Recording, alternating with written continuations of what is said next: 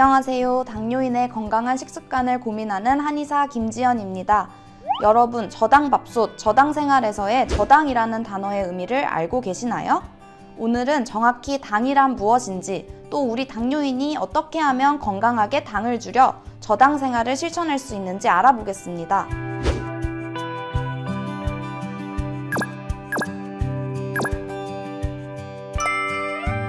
먼저 자칫 헷갈리기 쉬운 당질과 당류를 짚고 넘어가겠습니다. 우리 몸에서 연료로 쓰이는 영양소는 탄수화물, 단백질, 지방이 있지요. 이 중 탄수화물을 다른 말로 당질이라고 부릅니다. 즉, 당질과 탄수화물은 같은 말이에요. 반면 당류란 식품 내에 존재하는 모든 당당류와 이당류의 합이며 물에 녹아서 단맛이 나는 것입니다. 당류는 빠르게 체내 흡수되어 에너지원으로 사용되며 에너지원으로 사용되고 남는 에너지는 체지방으로 축적됩니다. 즉 설탕과 같은 단맛을 내는 것이 곧 당류이고 당류는 지방간, 당뇨, 고혈압, 비만을 일으킵니다. 우리 당뇨인이 주의해야 할 것은 바로 이 당류입니다. 이때 당류에는 단당류와 이당류가 있습니다. 단당류는 당분자가 한 개인 것으로 소화 흡수가 빨라요. 예를 들면 과당, 포도당, 갈락토스가 있습니다. 이당류는 당분자가 두 개인 것으로 단당류에 비하면 소화 흡수가 약간 느릴 수 있지만 그래도 비교적 빠른 편입니다. 예를 들어 백설탕이 있는데 있는 포도당과 가당이 결합한 것으로 스크로스라고 불립니다. 또 갈락토스와 포도당이 결합한 우유 속에 유당이 있고 포도당과 포도당이 결합한 말토스가 있습니다. 이 중에서도 특별히 더 나쁜 것은 포도당과 말토스를 꼽을 수 있겠습니다.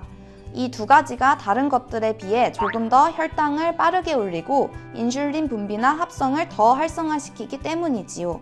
또 단당류인 과당은 혈당이나 인슐린에는 영향을 적게 주지만 지방산 합성을 촉진시켜 주의가 필요합니다. 이러한 당류를 섭취했을 때 생길 수 있는 대표적인 문제가 인슐린 저항성이 생길 수 있다는 점이고 그렇기 때문에 당뇨인은 당류 섭취를 주의해야 합니다. 우리가 당류, 예를 들어 백설탕을 먹었다고 생각해 볼게요. 백설탕은 위에서 흡수돼 혈관을 타고 온몸을 돌아다니게 됩니다. 이때 혈관 속에 있는 당류를 혈관에서 세포 속으로 옮겨주는 역할을 하는 것이 바로 인슐린입니다. 그런데 만약 우리가 당류를 너무 많이 섭취하여 혈관 속에 당류가 너무 많아진다면 어떻게 될까요? 원래 당류가 10개라면 당류를 운반하는 자동차인 인슐린도 10대면 될 텐데 갑자기 당류가 200개로 늘어나면 인슐린도 200대가 필요하겠지요. 문제는 인슐린이 이렇게 많아질 경우 인슐린 저항성이 생긴다는 것입니다. 원래는 당류를 한 개 옮길 때 자동차가 한 대면 되었는데 인슐린 저항성이 생기면 인슐린이 일하기 힘들어지게 되는 거죠. 결과적으로 일을 제대로 하기 위해 필요한 자동차의 수가 증가하여 도로가 꽉 막혀 문제가 생기게 됩니다. 똑같은 당류를 옮기는데 더 많은 자동차, 즉 인슐린이 필요해지는 것. 이것이 바로 인슐린 저항성입니다.